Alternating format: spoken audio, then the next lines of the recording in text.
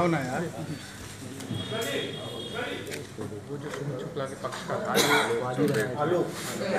शुक्ला उर्फ़ सुमित शुक्ला की PCB hostel में रात्रि में गोली मार के हत्या कर दी गई थी।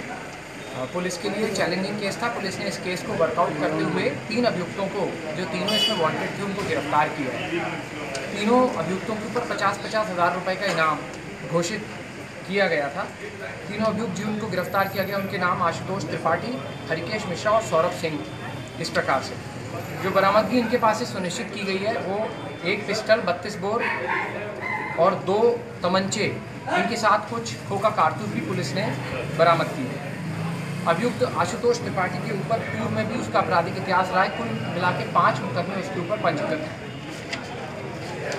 जो हत्या का कारण है जो इन्वेस्टिगेशन के दौरान पुलिस को पता लगा है वो वह आशुतोष त्रिपाठी के द्वारा इस तरह की बात बताई गई है कि जो चुनाव हुआ था इलाहाबाद यूनिवर्सिटी का उसमें किसी भी तरह की मदद इनके द्वारा जो सुमित शुक्ला है इनके द्वारा नहीं की गई। और उसके बाद भी बीच बीच में वो उसको डांटा और धमकाया करते थे इस तरह की बात उसके द्वारा बताई गई।